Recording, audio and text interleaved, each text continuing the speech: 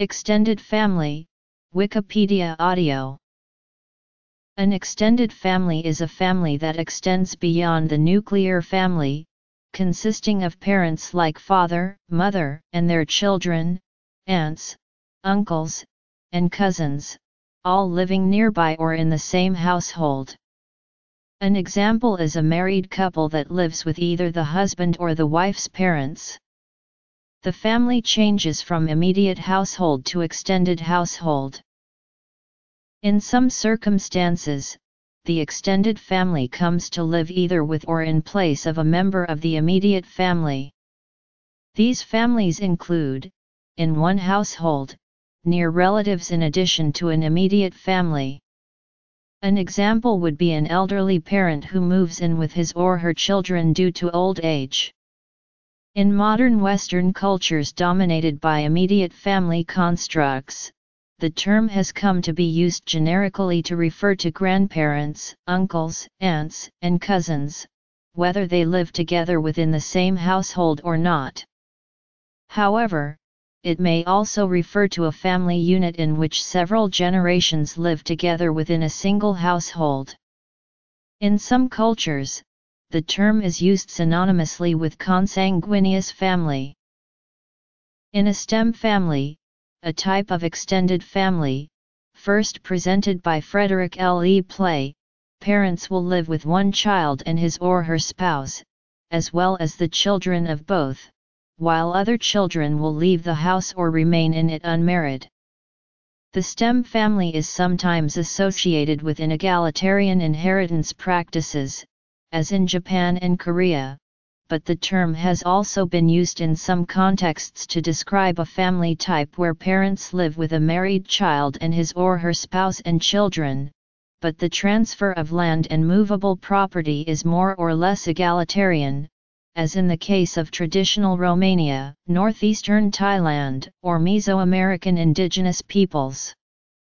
In these cases, the child who cares for the parents usually receives the house in addition to his or her own share of land and movable property.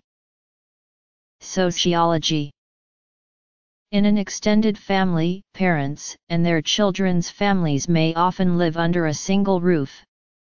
This type of joint family often includes multiple generations in the family. From culture to culture, the variants of the term may have different meanings.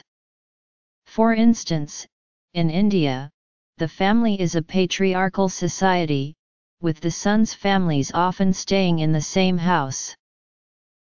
In the joint family, the workload is shared among the members. The patriarch of the family is the head of the household.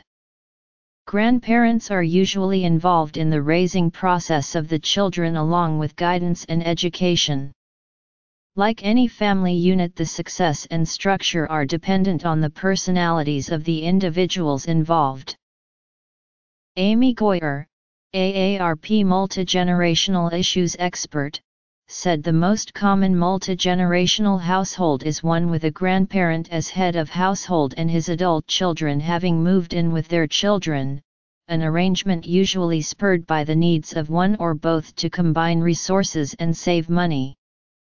The second most popular is a grandparent moving in with an adult child's family, usually for caregiving reasons. She noted that 2.5 million grandparents say they are responsible for the basic needs of the grandchild living with them. The house often has a large reception area and a common kitchen. Each family has their own bedroom.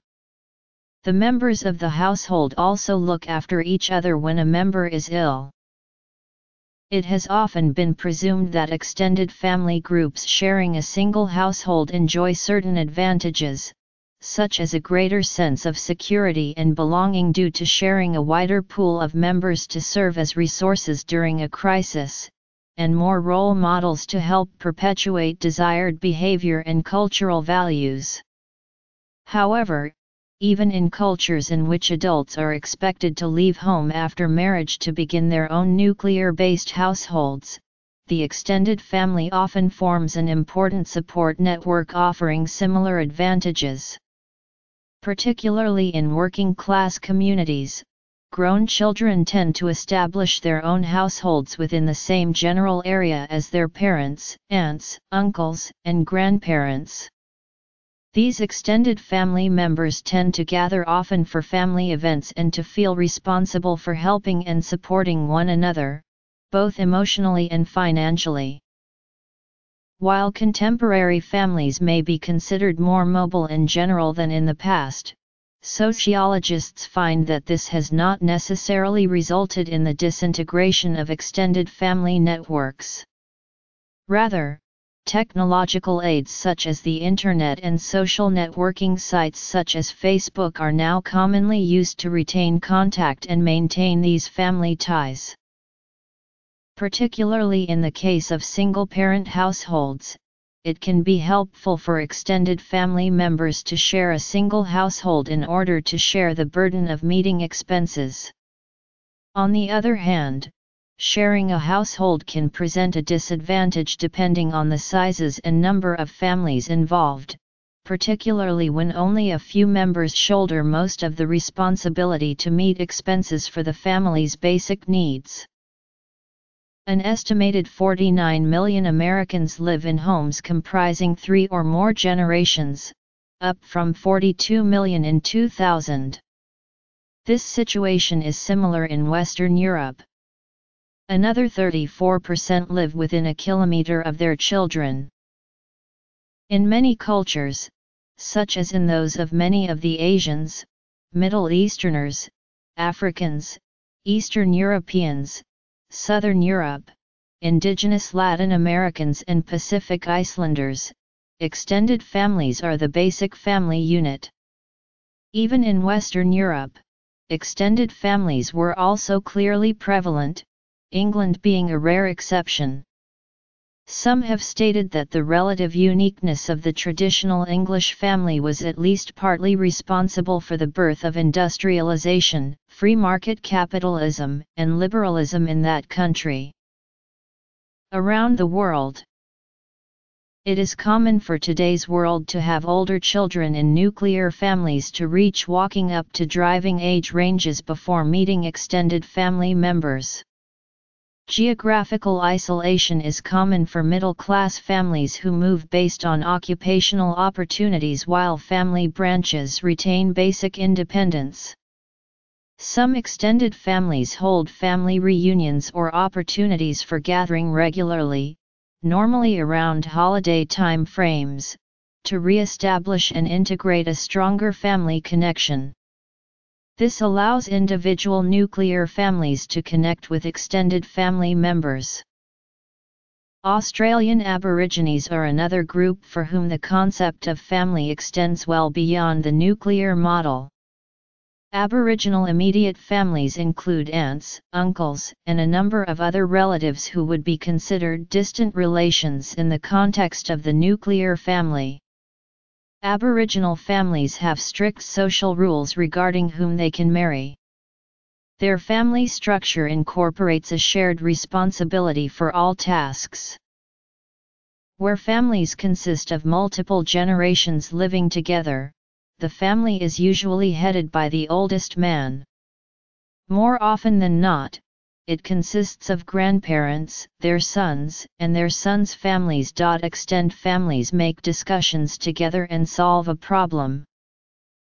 Historically, for generations South Asia had a prevailing tradition of the joint family system or undivided family.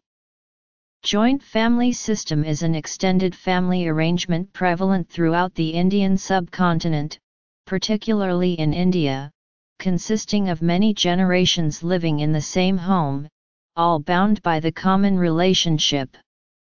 A patrilineal joint family consists of an older man and his wife, his sons and unmarried daughters, his sons' wives and children. The family is headed by a patriarch, usually the oldest male, who makes decisions on economic and social matters on behalf of the entire family. The patriarch's wife generally exerts control over the household, minor religious practices and often wields considerable influence in domestic matters. Family income flows into a common pool, from which resources are drawn to meet the needs of all members, which are regulated by the heads of the family.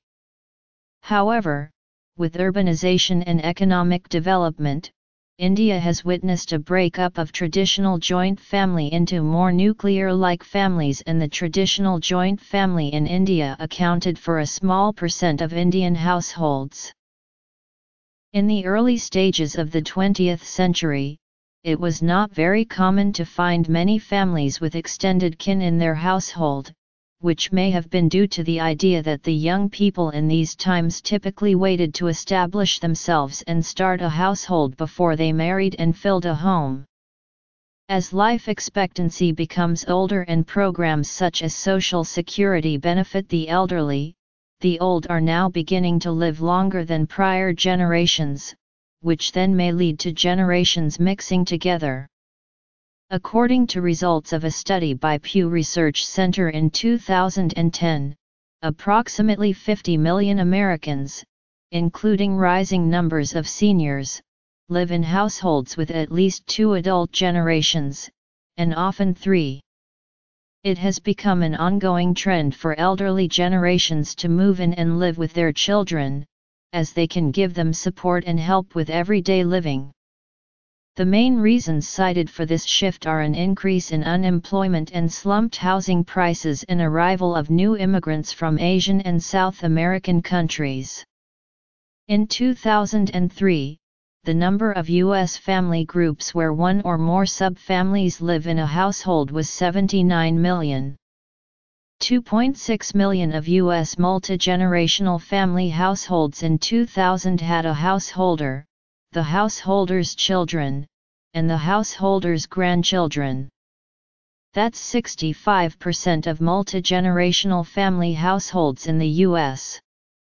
So it is twice as common for a grandparent to be the householder than for adult children to bring parents into their home.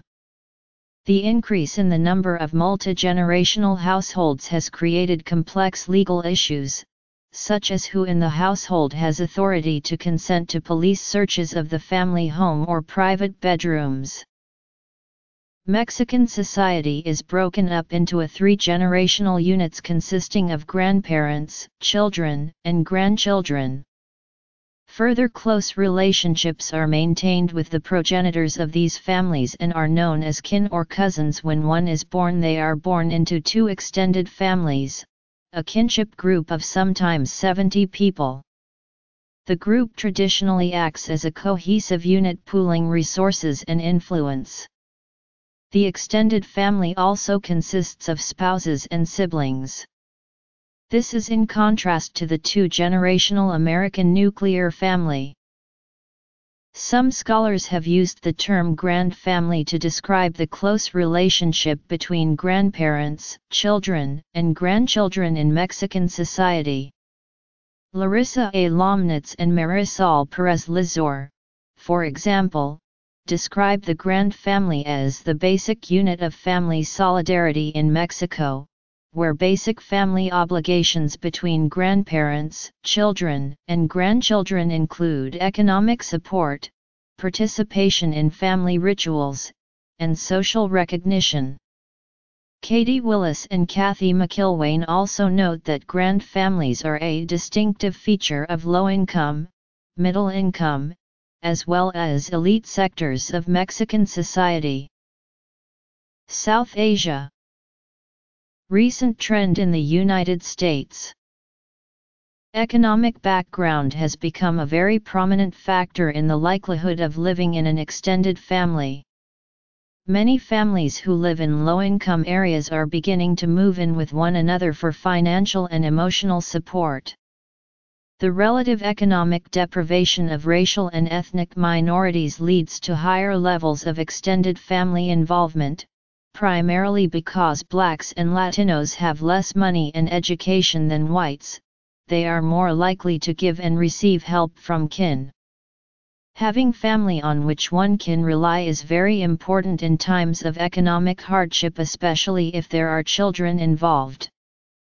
Living in an extended family provides constant care for children and support for other members of the family as well. Analysis of the National Survey of Families and Households suggests there are differences between whites and other ethnic groups because of economic differences among racial groups. Blacks and Latinos less often have the economic resources that allow the kind of privatization that the nuclear family entails. Extended kinship, then, is a survival strategy in the face of economic difficulties. Being able to rely on not only two parents but grandparents, aunts, uncles, brothers, and sisters helps to create a support system which in turn brings families closer together. Living in an extended family provides many things that a nuclear family does not.